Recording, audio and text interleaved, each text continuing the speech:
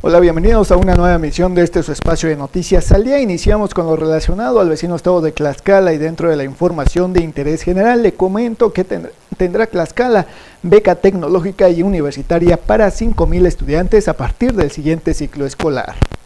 El gobernador Marco Mena acordó con el secretario de Educación Pública Federal, Otto Granados Roldán, el cuarto componente del sistema estatal de becas, la beca tecnológica y universitaria con el cual a partir del próximo ciclo escolar Tlaxcala dispondrá de 60 millones de pesos para respaldar mensualmente a 5.000 estudiantes de nivel superior. Durante el encuentro que sostuvieron el gobernador Mena y el secretario Otto Granados en la sede de la CEP, coincidieron en la firma de un convenio para ampliar las aportaciones a las becas para estudiantes de institutos tecnológicos y universidades, con lo que el programa forma parte del sistema estatal de becas con un componente potenciado. Marco Mena precisó que los gobiernos federal y estatal, a partir de este acuerdo, aportarán cada uno 30 millones de pesos al componente beca tecnológica y universitaria para lograr un total de 60 millones de pesos. Acompañado por Manuel Camacho y Gareda, titular de la Secretaría de Educación Pública del Estado, Marco Mena agregó que con estos recursos se beneficiarán 5.000 estudiantes universitarios y tecnológicos del Estado de forma mensual. De esta manera, el sistema estatal de becas cuenta ya con cuatro componentes. Tu prepa terminada para estudiantes que concluyeron el nivel medio superior en 2017 con promedio de 8.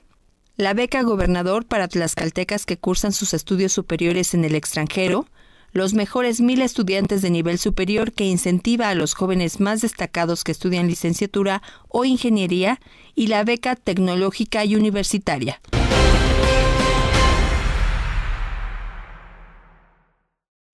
Otra parte, inicia CESA con segunda Semana Nacional de Salud con la aplicación de vacunas contra el virus del papiloma humano para más de 13 mil menores. La aplicación de la vacuna contra el virus del papiloma humano a 13.239 niñas de quinto grado es el principal propósito de la Segunda Semana Nacional de Salud 2018, la cual inauguró de manera oficial la Secretaría de Salud en San Pablo del Monte. Nada que se le robó. Luego, luego se estaban quitando el suéter. A, mí Aquí el secretario de Salud del Estado, Alberto Jongitud Falcón, acompañado por la directora del Sistema Estatal para el Desarrollo Integral de la Familia, Madaika Piedras, dijo que el personal del sector suma sus esfuerzos para realizar estas actividades. Es a ellas precisamente a quien va dedicada la mayor fuerza de la estrategia.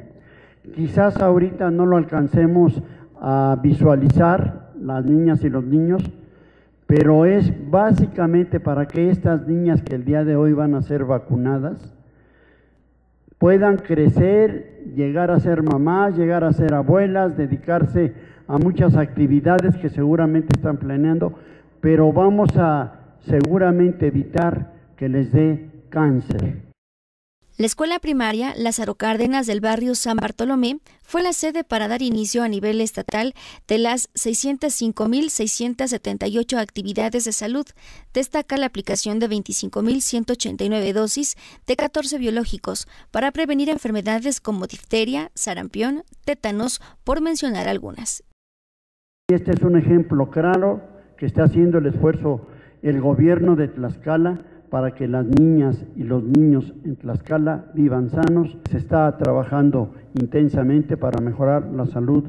de las personas, de los niños, de las niñas, de las mujeres fundamentalmente y de todos los que vivimos en Tlaxcala. Hasta el 1 de junio estarán instalados más de mil puestos de vacunación que tendrán actividades como mensajes preventivos, entrega de albentasol, sobres de electrolitos orales y la actualización de los esquemas de vacunación.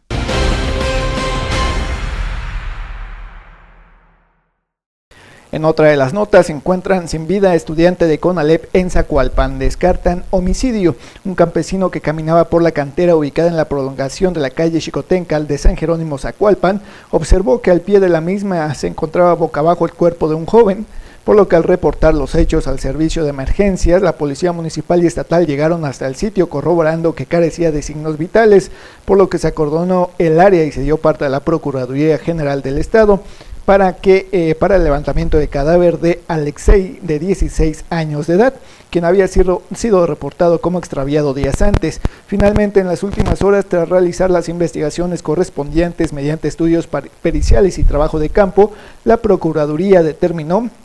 que el menor habría fallecido producto de una caída accidental en el lugar. En otro de los municipios de aquella zona del vecino estado de Tlaxcala, en la población de San Rafael Tenanyecac, perteneciente al municipio de Nativitas, amantes de lo ajeno se apoderaron de un Volkswagen tipo sedán color rojo modelo 2000 con placas de circulación particulares del estado de Tlaxcala. Al respecto, el afectado declaró ante la gente del Ministerio Público que a las 12.30 horas de este domingo, del pasado domingo, acudió a visitar a sus padres al domicilio ubicado sobre calle Revolución en la población de Tenanyecac, muy cerca del Panteón Municipal,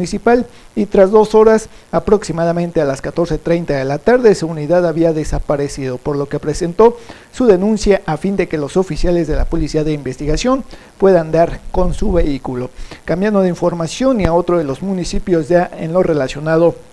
al octavo distrito y la región registran casos de desaparición de mujeres en municipios del octavo distrito. De acuerdo con una revisión que hizo la Asociación Litigio Estratégico de Derechos Humanos AC, IDEA, a 13 municipios, a más de 100 denuncias de desapariciones de mujeres en plataformas federales, la ciudad de Puebla encabeza el primer lugar con más de 400 denuncias acumuladas desde el 2005 hasta este enero de 2018. La organización realizó un análisis de las demarcaciones del país que acumulan más de 100 casos en el registro a cargo del Secretariado Ejecutivo del Sistema Nacional de Seguridad Pública, al corte de enero y con 429 casos registrados en Puebla, la ciudad casi duplicó a municipios identificados por haber alcanzado niveles de inseguridad en los años analizados. Entre los municipios se encuentran Tehuacán con 82, 35 Tepeaca, San Martín Texmelucan y Tezuclán con 22, mientras que entre los 2 y 9 casos están Huejotzingo, Joronango, Zacatlán y Tepeji, entre otros, y con un solo caso, Chautzingo, Juan Cebonilla, Clahuapan Oriental, Atzompa y 19 municipios más de Puebla de lo que es el estado de Puebla. Por otra parte, municipios del Distrito 8 y la región cuentan con alarmas sísmicas péndulo, con la intención de detectar los movimientos telúricos y de acuerdo a datos de transparencia del gobierno estatal, a través de la Dirección de Protección Civil Estatal se han instalado 1.105 alarmas sísmicas péndulo en el estado, de las cuales tan solo la capital poblana alberga el 51.4% de estos dispositivos, mismos que se ubican en escuelas, centros escolares, centros de salud, hospitales, unidades habitacionales, dependencias estatales y diferentes plazas comerciales, entre otros espacios, así como en municipios como Acatlán de Osorio, Acatzingo, Ajalpan, Altepeji, Aclisco, Chiautzingo, Chila de la Sal, Cholula, Guadalupe Victoria, Huejotzingo, Huejotzingo, perdón, Oriental, Palmarito, Tochiapan, San Martín Texmelucan,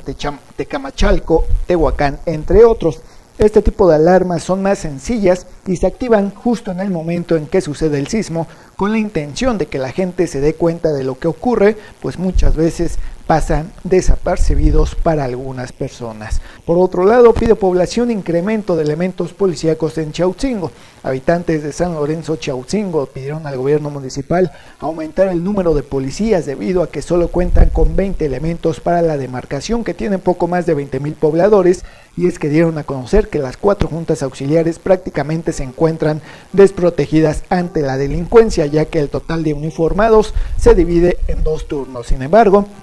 el comisario de Seguridad Pública, Felipe Quirós, dijo que debido a los pocos policías, se apoyan en los comités de vecinos vigilantes que elaboran con la sectorización que se hizo del municipio para no dejar el paso libre a los delincuentes. Y dentro de lo correspondiente a la región, hasta 100 mil pesos habrían pagado funcionarios texmeluquenses por amparo funcionarios del municipio de San Martín Texmelucan habrían pagado de 25 a 100 mil pesos para conseguir un amparo a fin de evitar ser detenidos luego de la investigación que realiza el gobierno del estado por la presunta vinculación de policías municipales y funcionarios con el crimen organizado, como se dio a conocer con la también detención del director de gobernación municipal Antonio Ávila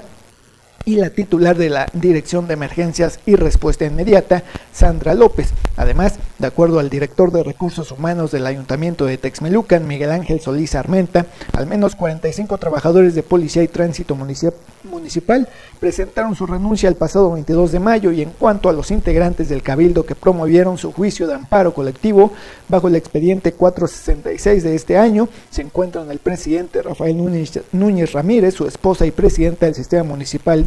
Emilia Sofía García, el secretario general del ayuntamiento Adrián Soto, la síndico suplente, la tesorero y el contralor eh, y 26 funcionarios más. En otra de las notas, boletas electorales llegarán a Texmelucan el 7 de junio. La Junta Distrital 05 con cabeza en Texmelucan dio a conocer que será el próximo 7 de junio cuando arribe la papelera electoral que habrá de utilizarse durante los comicios del 1 de julio, entre ellas boletas, actas de escrutinio y otra documentación, mismas que arribarán al distrito bajo un dispositivo de seguridad apoyado por el ejército mexicano y posterior a recibirlas se realizará el conteo y sellado de dicha documentación para que durante la sesión del primero de junio se haga entrega del listado nominal a los representantes de los y las presidentas de casilla. Finalmente, y referente a las solicitudes para quienes desean ser observadores electorales, la fecha eh, será el 31 de mayo como fecha límite para entregar solicitudes. Y volviendo a lo que es el octavo distrito con cabecera en Huejotzingo, por maltrato animal, por primera vez autoridades judiciales proceden contra madre e hijo en Huejotzingo. Tras percatarse del maltrato que recibía un cachorro al interior del departamento 102 del fraccionamiento de los frutales, Carlos Flores Pastrana presentó una denuncia ante la Fiscalía General del Estado contra María Silvia Tujeque Yen por maltrato animal y muerte del cachorrito, ya que aseguró no solo lo golpeaba, sino que no le daba de comer, por lo que en primera instancia llamaron a la Secretaría de Salud, la cual tres días después envió personal que constató que el perro seguía ahí, seguía ahí, perdón, sin que su dueña lo hubiera movido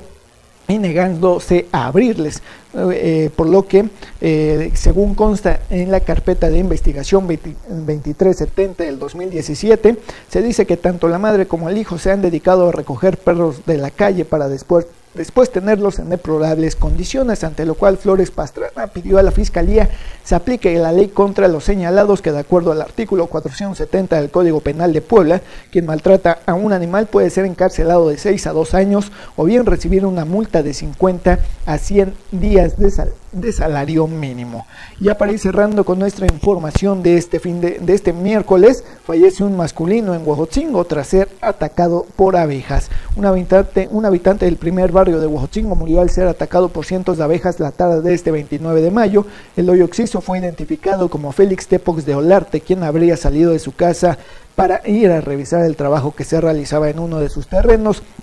ubicado a la altura del Hospital General de la demarcación. Sin embargo, fue el trabajador quien eh, dio aviso a su hijo para eh, avisarle o darle a conocer que había sido atacado por los insectos. Al llegar al lugar, el desafortunado hombre ya era atendido por paramédicos de Huejotzingo en presencia de personal de protección civil y elementos policíacos, quienes acordonaron la la zona tras confirmar que ya no presentaba signos vitales. Y de acuerdo al reporte, Félix Tepox murió a consecuencia de un choque anafiláctico, de acuerdo con los datos asentados en la carpeta de investigación 8193-2018, radicada en la zona centro. Desafortunado este suceso, el registrado en inmediaciones de lo que es el municipio de Huejotzingo y por supuesto también dentro de este tema pues hay que señalar y recordar que si vemos alguna situación similar pues de alguna manera eh, demos aviso a las autoridades correspondientes para que en primera instancia pues se hagan cargo de lo que acontece en la zona en la cual posiblemente lleguemos eh, nosotros a querer realizar alguna de nuestras actividades cotidianas. Lamentamos nuevamente este suceso dentro pues eh, de lo que fue el municipio de Huejotzingo. De esta manera pues bueno hemos llegado a la parte final de este espacio de noticias al día en este miércoles ya 30 de mayo, cerrando prácticamente el mes, así que nosotros lo estaremos esperando ya en lo que sería el primero de junio con más de la información que se vaya generando durante las próximas horas. Por nuestra parte, esto ha sido todo en esta ocasión. Pásela muy bien. Lo esperamos en nuestra siguiente emisión. Esto fue todo aquí en Noticias al Día.